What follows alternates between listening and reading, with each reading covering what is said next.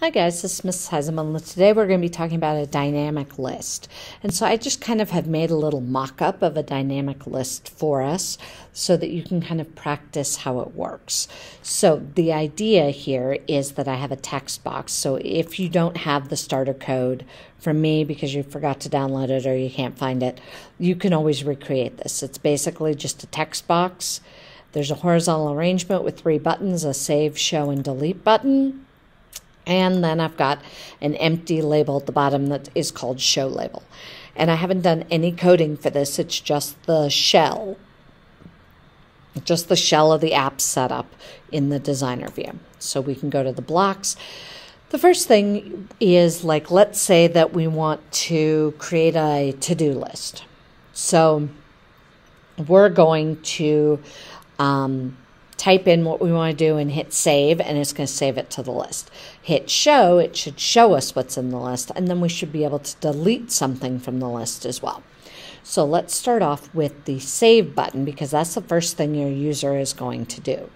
So we're going to pull out the when save button is clicked because your user first action they really do is going to be to type in and then save. So we're going to have them uh, first off, your whole program has to initialize an empty list. So initialize global, and we're going to call this to-do list. And notice I use the word list in the name of the global variable. And that is because if I've got five different variables, one's for score, one's for time left, one's for something else, and then I've got a to do list, I'm going to forget which one's the list if I don't actually put list in the name. Always name things by what they are and what they do. In this case, it's a to do list and it's a list, so I'm leaving it as to do list as the name of it. So I realize that seems wordier than it needs to be, but trust me, once you start getting big enough code, you're going to want longer and longer names for things because it makes them much easier to find and use. So I can't set a list to zero. So instead, I'm going to come over here to lists and I'm going to create an empty list. So as soon as the app fires up, it's going to create an empty list. Now, the user is going to enter something in the text box and hit save, and it's going to add to this empty list. So I'm going to come over here to lists, add items to list, stick that in there. I need to get the name of my list for the top piece. And then item, I want it to be whatever's in the text box. So I'm going to go find text box text. Ah, there it is. Text box one text. That's now going in the list.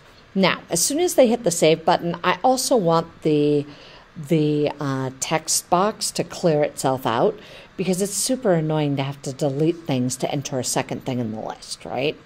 So I'm just going to go click on the text box itself and I'm going to set text box text to after I save it to the list. Then I'm going to set the text box text to an empty string or a null string right there so that it's nice and empty, clears it out. Great. But none of this does me any good if I can't see it. And I can't see it because it's way back in the background. It is like back in the green room in the script of our show. It is in order for the audience, the user to see it, we got to pull that sucker out and put it right up front on stage. And the way to do that is to show it to our user.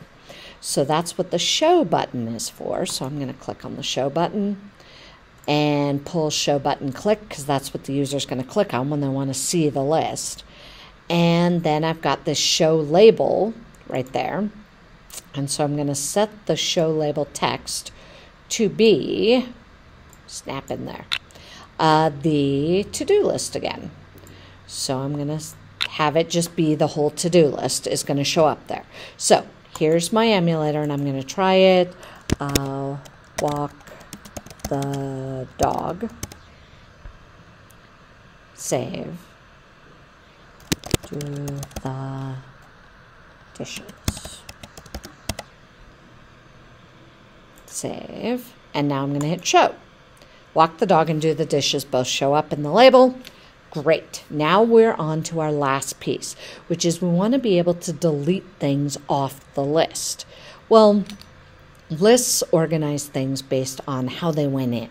So the first thing in the list is index one, the second thing is index two, the third thing is index three.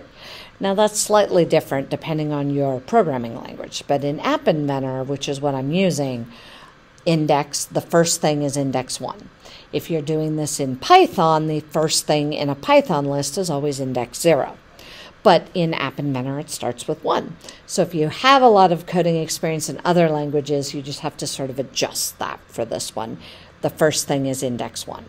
So I want to delete something, I'm going to go click on the delete button. So when delete button is clicked, now instead of add items to the list, I want to remove items from a list, which is, I can replace, there it is, remove. So remove item from list, index. So again, I have to come up here and get the name of the list. Now I'm just going to go with, assuming that my person does it in order, I'm just going to go get a number block here, and I'm going to say index number one. So it's just going to remove index number one.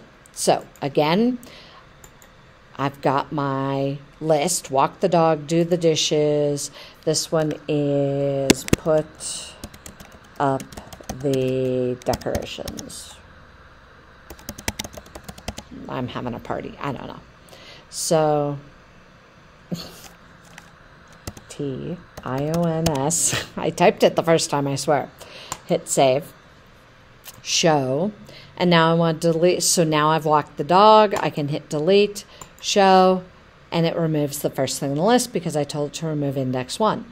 That means that do the dishes is now in index one. So if I hit delete, that's correct. Walk the dog or do the dishes disappears.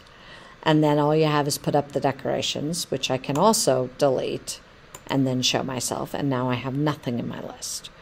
So the idea here is that you can save to a list, you can show the list to yourself, and you can delete things from the list. So go ahead and try this out.